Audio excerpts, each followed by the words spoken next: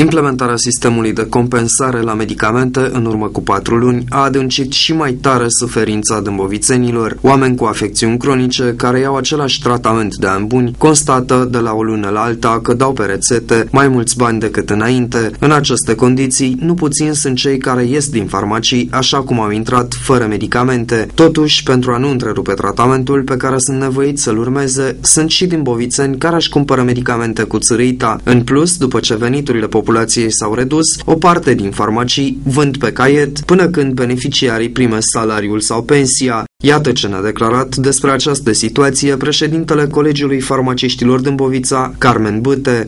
E normal să nu fie privită, uh, știu eu, în termeni foarte buni, pentru că, vedeți, listele, pre, listele uh, de prețuri care au fost uh, concepute de Casa de Sănătate, listele de referință, au introdus această coplată în sensul că referința este foarte mică și numai câteva, numai produsul cel mai ieftin din uh, gama uh, respectivă unui medicament uh, acela dacă este pe lista de gratuitate, numai acela este gratuit, restul pacientul are de plătit uh, o diferență de bani, această numită coplată. Uh, vreau să vă spun că și în acest moment sunt pacienți care, într-adevăr, uh, din cauza că nu au bani, își doresc produsul cel mai ieftin ca să poată să-și ia tratamentul, dar sunt și pacienți care doresc un anumit produs chiar dacă la el trebuie să plătească.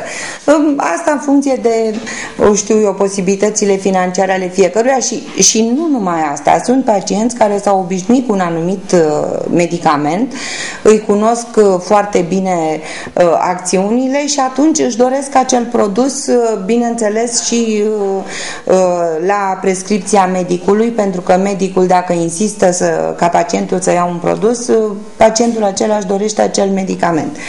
Uh, noi, farmaciile, am venit în întâmpinarea pacienților în sensul că în permanență ne dorim să avem uh, cât mai multe produse dintr-un, dintr-o denumire chimică internațională, deci cât mai multe produse cu aceeași formulă chimică, uh, tocmai ca să putem acoperi doleanțele pacienților, în sensul că produsul original este cel mai scump și atunci pacientul are de plătit cel mai mult, dar uh, dacă pacientul dorește să găsească cât mai multe variante în așa fel încât să plece mulțumit și bineînțeles mulțumirea lui să fie prin faptul că și-a luat tratamentul de care are nevoie. Deci acest lucru, acum sigur, e normal și firesc, nimeni nu o să se bucure că dă bani mai mulți. Nu, asta e puțin probabil. Ehm, dar sperăm, vedeți, acum fiind perioada aceasta de criză, cu toții am înțeles că a trebuit să, uh, a trebuit să scadă bugetul, bugetul Casei Naționale a scăzut, alocat pe medicamente probabil a scăzut și atunci din cauza asta și referința e din ce în ce mai mică. Care este evoluția prețului la medicamente în ultimii ani? Și de ce dâmbovțenii au ajuns în situația de a nu mai avea bani, nici chiar pentru medicamente? Pentru uh, ce să vă spun? Uh, medicamentele care au uh, preț impus, uh, la ele nu a crescut prețul.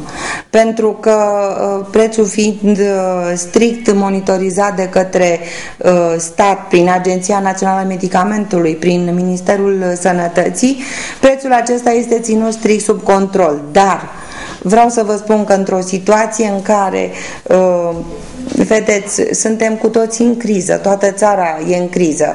Uh, bugetarii, salariile bugetarilor au scăzut cu mai mult de 25%, pentru că odată am înțeles că au fost 25% scăderea aceea totală, plus că li s-au scăzut sporuri diverse, deci veniturile lor au scăzut considerabil. Uh, apoi, uh, sigur că asta se resimte în cantitatea de bani care circulă pe piață și sigur că oamenii își cumpără mai puțin, își cumpără atât strictul, strictul necesar. Uh, asta e absolut adevărat și cu toții trăim în această țară și simțim acest lucru.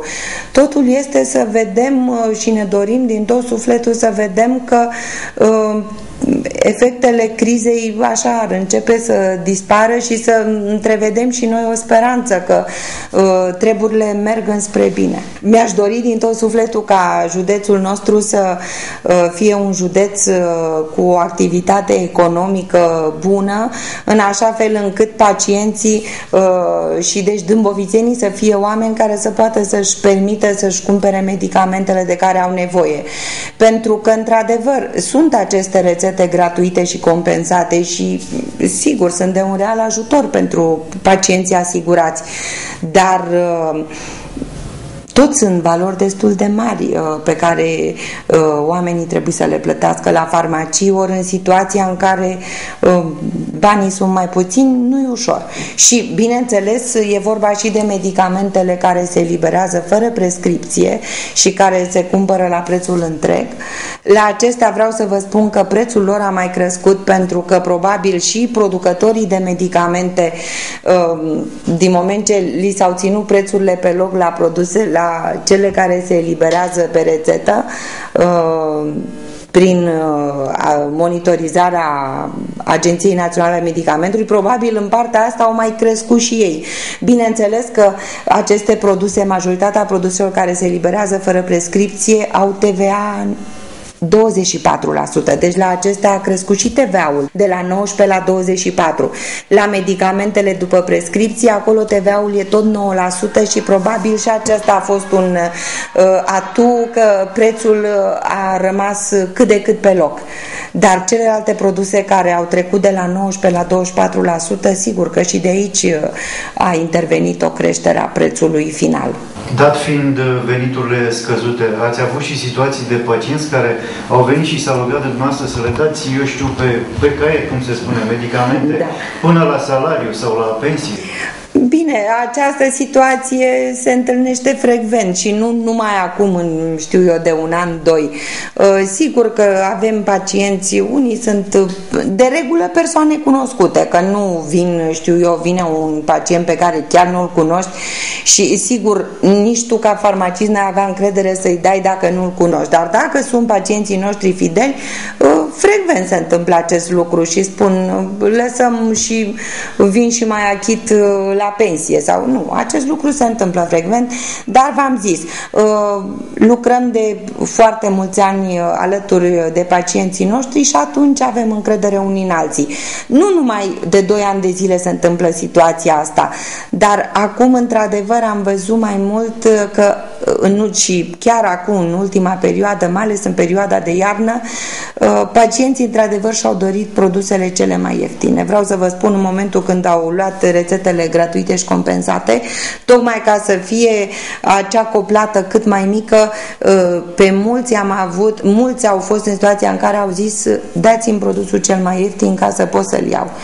Probabil, a fost și perioada de iarnă cu cheltuieli mai mari, să vedem ce o să ne aducă primăvara și anul acesta în care am intrat. Numărul de farmacii a crescut foarte mult și atunci, ă, chiar dacă probabil adresabilitatea ă, pacienților către farmacie a crescut, dar faptul că și rețeaua farmaceutică ă, s-a diversificat atât în mediul urban cât și în rural, această presiune pe farmacii nu am simțit-o atât de acut. Într-adevăr, în perioada aceasta rece a anului, sigur că se observă observă în toate farmaciile o creștere a adresabilității pacienților pentru o anumită categorie de produse medicamentoase. Sunt cele specifice sezonului rece. Asta da.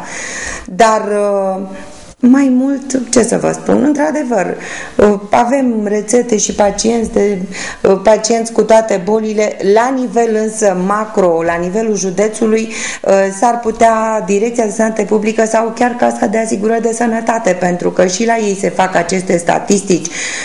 Ei au exact situația pacienților care sunt pe programele naționale de diabet, oncologie și acolo puteți să aflați date mai exacte exacte. Uh, la noi în farmacii, vedeți, pacienții se risipesc uh, și până la urmă, uh, acolo unde se adună aceste date, acolo aveți rezultatul cel mai exact. Probabil că această adresabilitate din uh, uh, această perioadă a crescut uh, și de teama viruzelor, eu știu. Oameni. Da, uh, întotdeauna în sezonul rece uh, apar, uh, sigur, frecvența acestor boli respiratorii este mult mai mare și sigur că aceste medicamente care se adresează bolilor uh, respective sunt mult mai căutate. Dar asta în fiecare an se întâmplă și noi farmaciile suntem pregătite la venirea sezonului rece, știm că trebuie să avem anumite stocuri de medicamente în așa fel încât să nu avem surprize să rămânem în plină perioadă de iarnă fără anumite produse care sunt foarte importante. Pacienții au nevoie de ele atunci când uh, sunt bolnavi. Algocalminul e unul din uh, aceste produse care e foarte solicitat în această perioadă și da. Parte, da. da, ce voiam să vă spun? Mă așteptam că mă întrebați de algocalmin. Chiar vreau să vă spun că de când au început să se anunțe în mass media că începând cu 1 februarie, deci mai avem câteva zile, uh, metamizolul, respectiv comprimatele de algocalmin, algozon și altele, uh, se vor elibera pe bază de prescripție medicală. Vreau să vă spun că a fost o afluență nebună la vânzarea acestui medicament și chiar acum, la momentul acesta, depozitele nu mai au niciun produs pe bază de metamizol. Nici nu credeam că o să ajungem, nu ne venea să credem. Însă, ce le-am spus tuturor pacienților? Că nu, uh, vedeți și aceste medicamente pe care le-au luat, și-au luat, uh, au făcut un mix stoc de 2-3 cutii, dar mm, și ele au o valabilitate. Oricum ele sunt în valabilitate și nu aveam medicamente care să nu fie pe parcursul anului 2011 în termenul uh, corect de valabilitate, dar există în farmacii și alte medicamente cu acțiune analgezică, deci care tratează durerea și care se eliberează fără prescripție. Deci din acest punct de vedere ei nu trebuie să se îngrijoreze. Iar dacă cu adevărat au nevoie de algocalmin sau alte produse similare al gocalminului, medicul de familie, medicul uh, specialist, sigur că va prescrie o rețetă simplă, nu trebuie că nu se compensează produsul și uh, în farmacii se va găsi. Dar acum chiar e o situație ciudată că nu mai avem algocalmin, pentru că toată lumea a vrut algocalmin și S-a epuizat stocul din depozite. Deci e puțin probabil că acum să se mai găsească într-una din farmaciile din... Uh, mm, poate așa, v-am zis, uh, uh, câteva cutii să mai fie, dar după ce o să treacă data de 1 februarie, vreau să vă spun, sigur, algocalminul o să apară și atunci, dar asta s-a și dorit. Scăderea consumului. S-a observat la nivel statistic că a crescut foarte mult consumul algocalminului și efectele adverse pe care care le poate produce din toate studiile clinice care s-au făcut, nu numai la noi în țară, în toată lumea, uh, s-a observat că efectele adverse sunt foarte mari și atunci uh, se dorește ca să evităm aceste, aceste riscuri. Probabil va veni și cu un alt preț, mă gândesc eu. Nu știu, să, asta chiar nu vă pot spune. Într-adevăr, uh, nu avea preț impus algocalminul. Să vedem, s-ar putea, de când o să fie medicament etic, deci medicament care trebuie să pe prescripție, dacă va avea preț impus nu, deci nu trebuie să se sperie pacienții. În mod normal, trebuie, prețul impus uh, este cel stabilit tot la fel de Ministerul Sănătății, uh, ANM și atunci nu, nu trebuie să se sperie pacienții că vor găsi cu alt preț. Nu. Din contră, e posibil să stabilească un preț mai mic decât a fost până acum. Nu știm, să vedem. Cu toate că guvernanții anunțau că noua coplată la medicamente nu va obliga pacienții să scoată bani din buzunar mai mult decât până acum, la patru luni de la implementarea sistemului, pacienții nu își mai permit terapiile indicate de medici. Jurnaliștii Art Press i-au întrebat pe dâmbovițeni cum comentează situația creată, iar aceștia nu au ezitat să-și exprime nemulțumirile. Cât cheltuiți lunar pe medicamente? Lunar pe medicamente în jur de 2 milioane. Veniturile vă permit uh, să cumpărați toate medicamentele de care aveți nevoie? După 40 de ani la locul meu de muncă și 6 luni, am 10 milioane. Și din ăștia o fac așa. Prețul la medicamente cum uh, vi se pare? Păi cum se pare? E scumpișoară. Cu for cu inima, uite, mai losea cu ceva și asta. Ce să facem? Se mai potrivește sloganul ăla să trăiți bine? Nene, eu îl regret pe Ceaușescu. Văzut și acum televizor, de dur acolo și niște chestii de-astea câte pe... Îl regret cu Ceaușescu, a stat 40 de ani la locul meu de muncă. Nu m-a mișcat nimeni de acolo. Nu m-a mișcat nimeni și șase luni. Da. Asta e. Ce să facem? O trăim așa. Ce să facem? Ați fost pus în situația vreodată să luați medicamente pe, pe caiet, ca să zic așa, până la pensie sau la salariu? Nu. Da ce să, m-am descurcat așa, din ăștia, din ăștia, și soția bolnavă, mi s-a propădit și soția, sunt singur și cu așa o duc, o descurc prost. Deci din ce în ce mai prost. Da, asta e. Medicamentele nu puteți să, să, să renunțați la ele. Păi cum să renunț? Le iau pe fiecare lună. Pe fiecare lună. Pe fiecare lună le iau. Și mi-a zis doctorița, dracu, ăștia a zis că le urmez cât o trăi. Cât cheltuiți lunar pe medicamente? Nu, asta a fost o întâmplare. Acum am dat 2 milioane și cea pe medicamente. Dar pentru sănătate omul face orice. Nu putem să ne lăsăm pe ultima sută de metri. Prețurile la medicamente cum vi se par? Încerc să fiu, nu știu, că au crescut sau s-au micșorat, asta fie, depinde de fiecare farmacie în uh, parte. Veniturile vă permit să, să vă cumpărați medicamentele de care aveți nevoie? Totuși am un serviciu care, să zicem, uh, pot uh, să iau. Mai aveți bani și de medicamente? Nu mai avem, domne, asta e la ce să facem. Dacă suntem bolnavi, trebuie să facem rost. Cam cât cheltuiți lunar pe medicamente? Medicamente în jur de un milion jumătate, 1,800. Da, ce să Lună de lună trebuie să... Lună de lună trebuie să luăm tratament. Nu puteți să renunțați la medicamente. Nu, nu, nu, nu. Absolut, Renunțați la altceva. absolut. absolut. Da. Vă permiteți să, să vă cumpărați medicamentele de care aveți nevoie? Nu ne permite, dar nu avem încotro. Ce să facem? Asta e situația. Prețul la medicamente cum vi se pare? Astea sunt prețurile, deci sunt scumpe, dar ce să facem? Nu avem încotro. Da. Se mai potrivește sloganul acela spus de un personajul să trăiți bine? Nu se potrivește.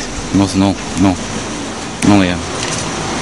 Asta e țara, ce să facem? Nu avem încotro să... De mare obligație suntem nevoiți să cumpărăm. Foarte puțin bani avem. Cam cât cheltuiți lunar uh, pe medicamente? Am o pensie de 2 milioane 300 și cheltui în jur de 6-700. Că mi-acordă și gratuit la boala pe care o am. Dar nu puteți să renunțați la tratament. Nici nu pot trăi fără tratament. Cum vă descurcați, bă, mai ales că lună de lună suntem dependenți de medicamente? Uh, Ne descurcăm, muncim să mâncăm mâine. Altfel nu se poate. Deci ne-a distrus, suntem distruși definitiv. Ar trebui să trăiască și ei, cum trăim noi cu salariul nostru, cei mari, bineînțeles, să vadă și ei cum să muncește din greu, cum mă vedeți pe mine. Deci eu deger pur și simplu, cheltui la 2 milioane, numai așa, pe medicamente mai ușoare. Că sufăr și eu de atâtea boli în gerul ăsta. Dar nu se poate, nu se poate.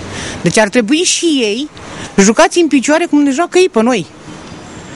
Că acel Băsescu care a ieșit din mare, un broscan râios și a venit pe pământ aici la noi, să facă el dreptate. Deci s-a prefăcut în șarpe, în viperă. Da, da, dânsul ne-a spus că să trăiți bine. Sloganul... Trăiesc că ei bine. Noi nu. Noi nu avem cum să trăim bine. Deci am trăit și noi bine dacă am trăit în locul lor.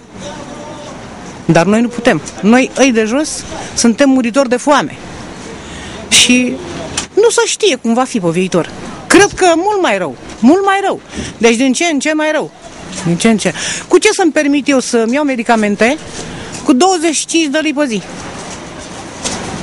Și angajată cu carte de muncă să mai plătesc și alte dări la stat. Deci nu se mai poate trăi. Ați fost pus în situație bă, până acum din cauza veniturilor scăzute să luați medicamente pe caiet, cum se spune, până la salariu?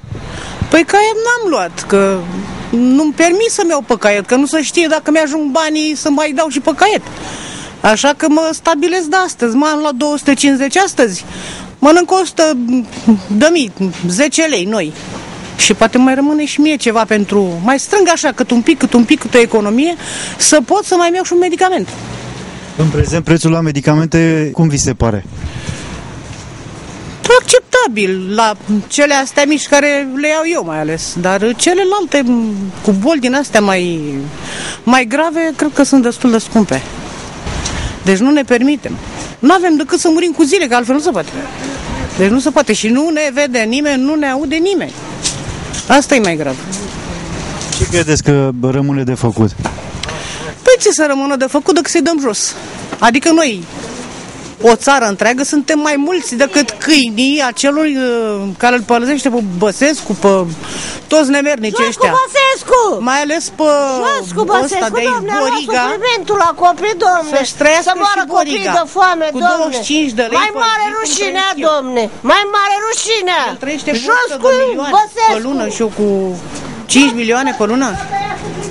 Deci nu se poate, nu se poate decât noi toți să ne adunăm, tot poporul, că ei sunt mai puțini decât poporul nostru, să-i jucăm în picioare cum ne joacă ei pe noi. Mai aveți bani și de medicamente?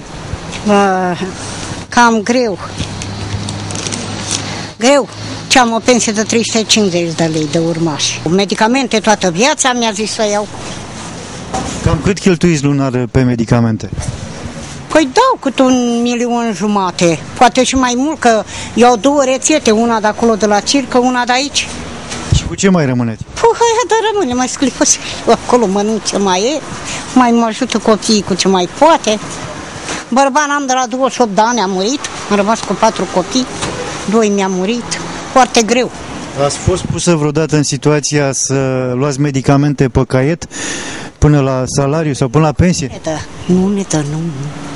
Nu se dă, trebuie cu bani. Mă împrumut, dacă nu și tot le iau și dau când iau, nu. Dar prețul cum vi se pare la medicamente? Prețul nu e chiar scump, scump, că le dă compensat. Dacă ar fi să le iau cu bani, nu, pensia nu le iau nici pe astea de aici, că e scumpe. Dar le dă compensat. Asta ne mai bucurăm. Dacă nu le-ar da, mor. Mor cu zile, că n-am cu ce lua. Ce să fac cu 350 de mii? Am și o lumină, apă, un cablu să mai mă uit la televizor. Era mai bine în urmă cu câțiva ani? Să știți că uh, când era domnul Ceaușescu, eu mai strângeam bănișori. Mai strângeam că nu era scump așa. Acum e foarte greu. Eu așa mi s-a părut. Era CAP-ul, munceam și era bine. Era bine. Ce ați dori să le transmiteți politicienilor prin intermediul nostru? Păi ce să le trimit să nu mai fac așa să scumpească toate, să mai ne pui și nu la pensii. Ei taie, văz, care are mult taie, la mine n-are ce tăia. Să trăim și noi mai bine, că murim, murim, uite cum mie mi-a zis toată viața să iau medicamente. Sunt pe sistem nervos și nu poți, caz, dacă nu iau de jos. Să nu mai facă de-astea că văd că scumpește și benzină și traiul și toate. Ei a pus nu știu de câte ori și nu, nu ne-a mai pus nimic. Asta le transmit să fie mai buni, că ei nu crede că dacă ei au milioane multe, nu crede la la mărât. Și asta e. Să fie mai bun, că uite, hai că eu mai fac ce mai fac, dar mă gândesc și la mărâția de adună de fântomberoane. E foarte greu. E unii de le-a luat casele, n-are unde sta. E greu, domnule, ce mai e foarte greu. Ați mai, trăit, ați mai trăit în viața asemenea momente? Nu, nu am mai trăit așa. Cu scumpetele astea, cu toate alele, n ce mi s-a pomenit. Și lume ce moară, accidente, intră și le ia banii, le omoară. E foarte greu. N-are cu ce trăi și de-aia dă în cap. Foarte greu, foarte greu. Dar ce să facem? Nu avem cui să-i spunem. Dar cât cheltuiți lunar pe medicamente? Aoleu, la 2-3 milioane. 3 milioane cheltuiți? Păi e, Am... Veniturile vă permit să... să... Păi, îți permit, nu-ți permit, trebuie să-i cumpere. Am niște probleme cu ficat, o hepatită B și trebuie să le iau, na. Ce, ce venit aveți? O pensie de 11 milioane. Și lună de lună trebuie să vă luați medicați? Păi trebuie să le iau, că altfel n-am ce să fac. Ce da? Prețurile la medicamente cum vi se par? Au crescut și nu sunt compensate. Bună ziua, mai aveți bani și de medicamente? Păi mai e. Vreo doi. De aia din care, de aia din care mai sunt, cum trebuie cumpărate, fără aia se poate trăi. Cam cât cheltuiți lunar pe medicamente?